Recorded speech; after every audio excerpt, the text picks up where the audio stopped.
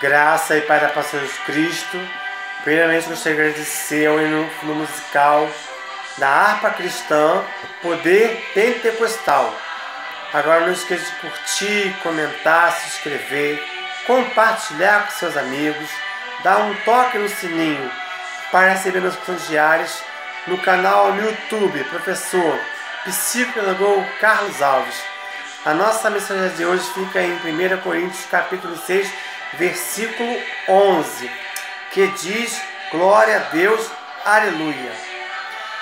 E é o que alguns têm sido, mas haveis sido lavados, mas haveis sido santificados, não haveis sido justificados em nome do Senhor Jesus e pelo Espírito do nosso Deus. Glória a Deus, aleluia. A justificação abrange não somente a obra redentora do Senhor Jesus Cristo, como também a obra do Espírito de Deus na vida do crente.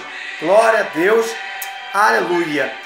Então que você venha, aleluia, se santificar cada dia mais, buscar a face de Deus, arrepender dos seus pecados porque o grande poder que vem é de Deus, é o poder que vem nos purificar, nos renovar, nos transformar a cada dia, porque Jesus é o caminho, a verdade e a vida.